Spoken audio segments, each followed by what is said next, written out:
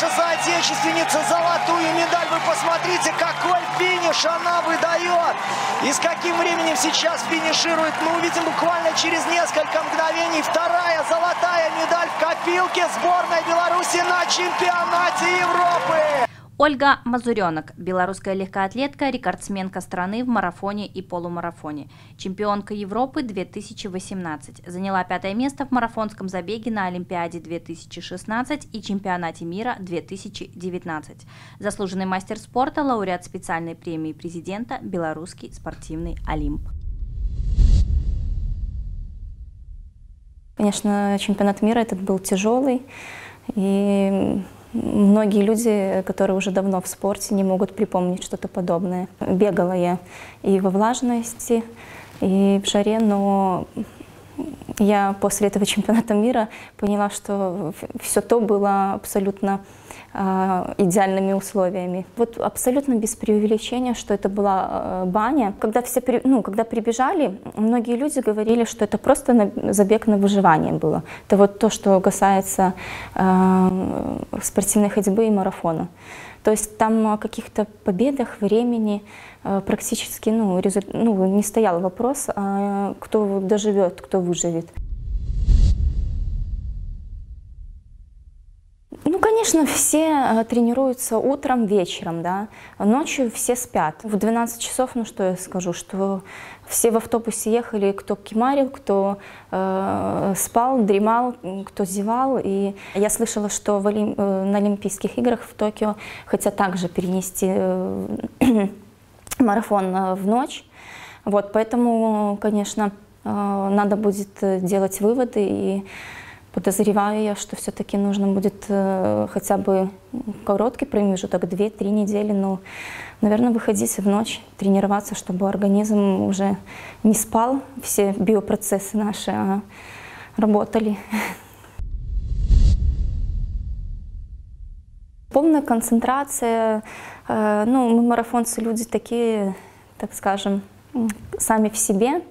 Э, наедине с собой остаемся, настраиваемся. Я читала, конечно, что э, там и Александра Дулиба э, раньше вот у нас бегала марафон, она говорила, что когда бежала первый марафон в Лос-Анджелесе, там успела все посмотреть, пересмотреть. Я, честно, кроме асфальта вообще ничего не вижу. Как-то я настолько сильно абстрагируюсь, что иногда могу не в ту степень забежать. Вот. Никогда ничего не вижу и не могу даже потом на следующий день узнать место, что бежала я здесь или нет. Ориентируюсь только по этому железному забору, который ограничения выставляют. Я позволяю себе все, спать долго, э, где-то ну, вначале не тренироваться и есть все, потому что так голова отдыхает, понимает, что тебе все можно, Э, и ты сегодня сама себя любимица. Вот. Ну а когда уже начинается подготовка, э, действительно я э, начинаю убирать там где-то углеводы, вот. Ну, ем фрукты, овощи и много мяса. Без мяса, мне кажется, я умру. Отмечу, женский марафон – это всегда изнуряющая и сложная дистанция, особенно если он проходит на пике лета. Ольга Мазуренок действительно на жилах вырывает золотую медаль и становится чемпионкой Европы. Пропиарил меня, так скажем, этот мой нос. Но для меня это вообще, ну, я не отношусь ни хорошо, ни плохо абсолютно. То есть э, где-то, может, это было, смотрелось некрасиво, но а, я не видела никакой там особо преграды. Были некоторые там, да, неудобства, что приходилось э, как-то нос э, там э, помогать, так скажем. Мне кажется, у всех людей периодически такое случается. Какие-то, наверное, перепад давления, что-то в этом роде. Может, магнитные бури какие-то, если кто-то метеозависимый человек. Провожу больше, стараюсь времени с ребенком, потому что, как вы понимаете, что он в пол, полгода в году меня вообще не видит. Гордится, хотя так по-семейному иногда там может мне, как за Олимпийские игры, что пятая была, лидировала и не выиграла, он мне так все вспоминал, что все неправильно сделала. Главное, э, чтобы не ленился. Неважно, спорт или учеба, вот этот меня момент, конечно, вообще в людях раздражает и переживаю, чтобы только вот эту вот лень всю побороть, потому что девочки, мне кажется, сами по себе более дисциплинированные, такие, а мальчишек надо всегда такое ощущение, что гнать в шею. Искренне, наверное, очень мало все-таки. Вы понимаете, что все мы соперники. Но я абсолютно за дружбу. Спорт быстро заканчивается, а память о себе и вот это вот мнение, оно останется у людей навсегда. Все мы дружим, просто единственное, ну, уже такой момент, когда начинаем там готовиться, уже каждый, наверное, все-таки сам по себе.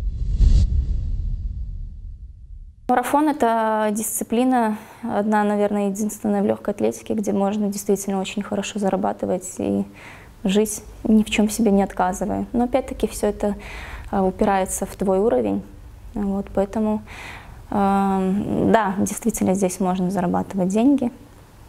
Сколько больше всего вы зарабатывали? А я не скажу. Само расстояние, вот эта сама цифра очень всегда пугает. И я вот, э, когда тренеру сказала, я хочу бегать марафон, у меня э, прежде всего было в голове ну, не, не то, чтобы вот я хочу там стать олимпийской чемпионкой, там, или, хотя это в детстве всегда это сидело с первого дня, наверное. Но э, сам марафон, когда я говорю, что э, я хочу пробежать марафон, это вот у меня как-то в голове стоял как будто бы какой-то вот барьер.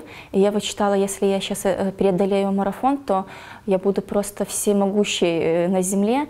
Поэтому очень много, видите, по миру людей бегают марафоны. То есть звезды, там, политики, богачи, если так можно сказать. Ну, казалось бы, люди вы сумасшедшие, то есть вы не на результат бежите. Но вот я их в этом понимаю, что когда ты преодолеваешь эту черту э, уже запредельную, у тебя вот э, появляется мысль, если я это смогла, все остальное тоже в этой жизни смогу.